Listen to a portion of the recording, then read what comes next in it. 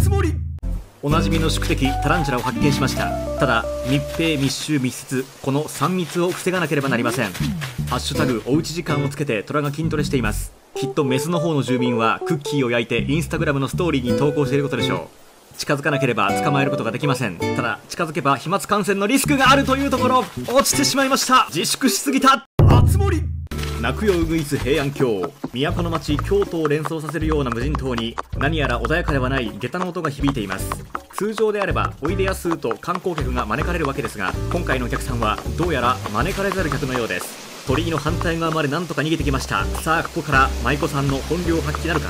お座敷遊びの舞のように華麗なステップで捕獲することができるか。正面突破は難しい。まずは横に回っていこうというところ。足元を狙われました。都の治安を守ることができませんでした。熱盛町が眠りにつく前の一仕事。島の代表として最後のパトロールを欠かすわけにはいきません。まずは水着は安全なようです。ただ私の勘は鋭い。テストで名前を書いたか不安になる感覚。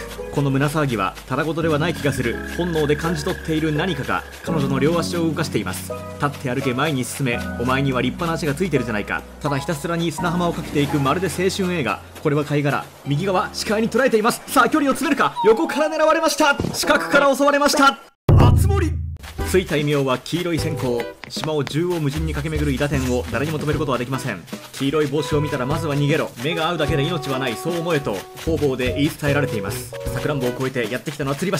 さあ退治しました今回のターゲットは鬼ヤンマ全体重を乗せたフルスイング。力ずくで捕獲してやろうというその意思を汲み取れます。もはや虫網が壊れる勢い何度も何度も叩きつける。さあここで持っていった。位置を調整するファインプレー捕まえていきました。文字がやたらと大きいテンションの高ぶりが伺えます。今夜の晩飯です。